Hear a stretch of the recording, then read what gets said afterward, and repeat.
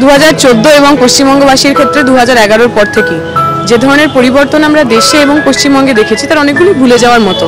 দু হাজার ওইটাই মানুষের পাশে থাকা, সৎভাবে থাকা, মাথা উঁচু করে মানে বেঁচে থাকা। গ্রাম বাংলার মানুষ, যে মানুষ এতদিন ধরে অন্যায় সহ্য করেছেন, অত্যাচার সহ্য করছেন, আর তারা প্রস্তুত হচ্ছে। আগামী দিনে ব্যালট বক্সে এবং বুথের বাইরে, বুথকে বাঁচানোর লড়াইয়ে সবাই থাকব আমরা একসাথে। রাতের পার্ক ঘুরছিলাম এবং ঘুরতে ঘুরতে মানুষের যখন বাইক নিচ্ছিলাম, তখন দেখা গেল একজন এই মুহূর্তে দাঁড়িয়ে বামপন্থী তরুণ মুখ দীপশিতা দিকে। সমাচার প্লাস বাংলায় তোমাকে স্বাগত। হ্যাপি নিউ ইয়ার সবাইকে। এই যে পার্ক স্ট্রিটে আলোয় আলোয় রাতের আলোয় তুমি ঘুরছো নতুন বছরে কি তাই তো? হ্যাঁ আসলে আজকে ইচ্ছে মতো পার্বণ। তো সারা রাত ধরে নাটক দেখার আমাদের প্ল্যান সন্ধ্যাবেলা পিএলটি নাটক থেকে আমরা শুরু করেছি সাড়ে ছটায় ছিল সেটা।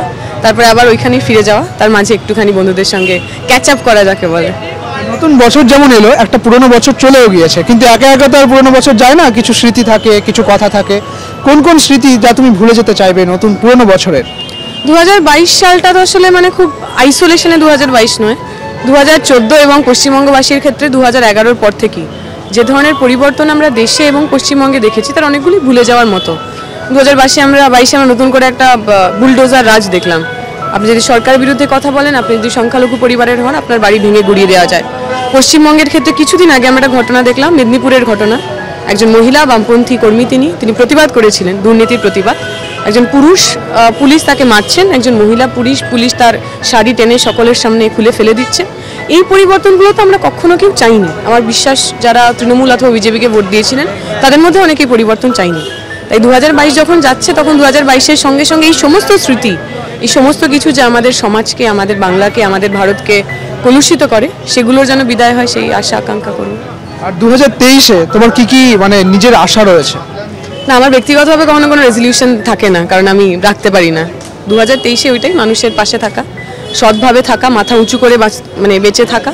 এই সময় দাঁড়িয়ে পলিটিশিয়ান মানে তো তার উপরে একটা অভিযোগ আসে লোকের মনে হয়। আমার চেয়ে ছোট যারা যারা টিভি দেখছে খবরের কাগজ দেখছে। তাদের মনে নেতা মন্ত্রী মানে তারা চোর তারা ঘুষখোর তারা হাত পেতে টাকা নেন। আমরা যেন সেই ছবিটাকে বদলাতে পারি দু হাজার তেইশেও যেন আমরা সাধারণ মানুষের বুকে আগামী প্রজন্মের কাছে একজন রাজনীতির মানুষ একজন ভালো মানুষ এইভাবে পরিচিত হতে পারি এইটুকু। ঠিক যেভাবে একটা নতুন বছর পড়ল এবং নতুন বছরেই কিন্তু সামনেই পঞ্চায়েত ভোট এই নিয়ে কি বলবে? কি কি মানে তোমার কি কি পরিকল্পনা রয়েছে? প্রস্তুত হচ্ছি গ্রাম বাংলার মানুষ যে মানুষ এতদিন ধরে অন্যায় সহ্য করেছেন অত্যাচার সহ্য করছেন তারা প্রস্তুত হচ্ছে। আগামী দিনে ব্যালট বক্সে এবং বুথের বাইরে বুথকে বাঁচানোর লড়াইয়ে সবাই থাকব আমরা একসাথে।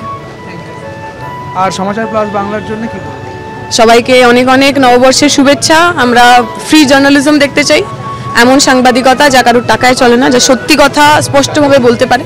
সেরকম জার্নালিজম সেরকম সাংবাদিকতা সাংবাদিকতা আরও হোক আরও বেশি করে মানুষ তোমাদের চ্যানেল দেখো থ্যাংক ইউ কথা বললাম দীপশিতাদির সঙ্গে ক্যামেরায় অমিতের সঙ্গে সুদীপ্ত সমাচার প্লাস বাংলা কলকাতা